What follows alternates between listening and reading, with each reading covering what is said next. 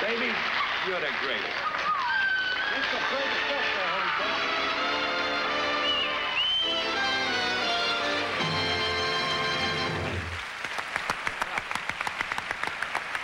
And ladies and gentlemen, please give a rousing New York welcome to three of the stars who made the honeymooners so unforgettable, Audrey Meadows, Joyce Randolph, and Art Carney. The honeymooners! Yes!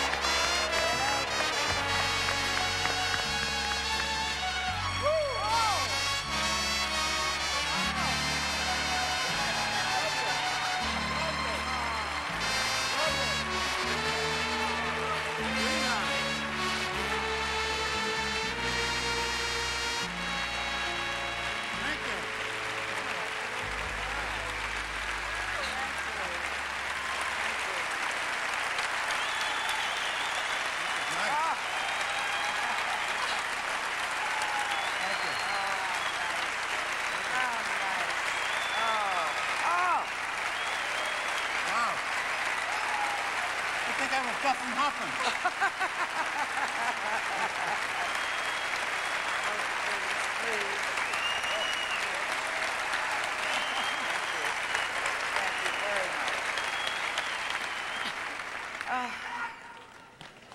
Thank you. Thank you. Watching those old shows is always a lot of fun. And my wish for every performer is that they will have an opportunity to work with some such comedic geniuses as Jackie Gleason, Art Carney, and Joyce Randolph. Thank you. And if ever there were two greater comedians to play off than these ladies, I never found them in a sewer, that's for sure. Life was very different when we made the honeymooners.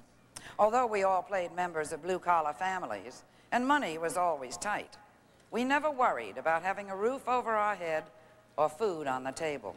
No, we used to worry about having a roof on the table and food over our heads. That's what made it funny.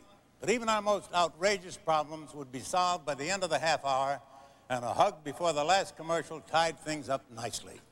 Today, Ed and Ralph and Trixie and Alice would be hard-pressed to make ends meet. Their quaint apartment house in Brooklyn would go condo, and if they couldn't meet the asking price, they'd probably have to move. Finding cheap housing in the city is practically impossible these days.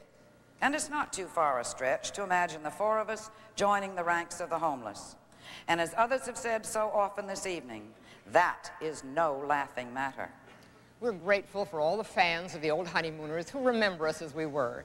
But we hope all of you who know just how close we all are to being in that same desperate situation will act now to help those who need our help. And if you do something about it now, all we can say is what Ralphie Boy used to say to Alice at the end of each show.